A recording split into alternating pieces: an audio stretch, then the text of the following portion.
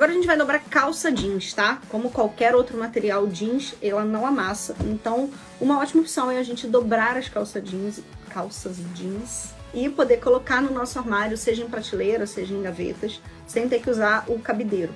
Então, para uma calça jeans, ó, você vai dobrar ela ao meio. E aí você precisa pegar esse gancho aqui, porque tá vendo que, para você entender a lógica, tá vendo que a única coisa nessa peça que sai do padrão linha reta é esse bico aqui, é o, o cavalo da calça, é o gancho da calça, né? É, aqui é reto, tá vendo? Aqui é mais retinho, aqui é mais retinho, mas aqui sai, né? Então, isso aqui eu preciso colocar pra dentro, tá? Assim, ó.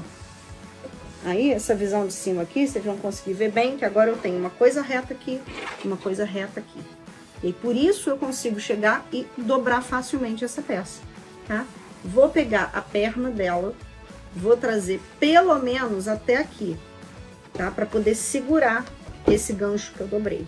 E aí eu posso, ó, se eu tiver muito espaço, eu posso dobrar uma vez aqui, para ela ficar assim, tá? Ou eu posso dobrar um pouco mais.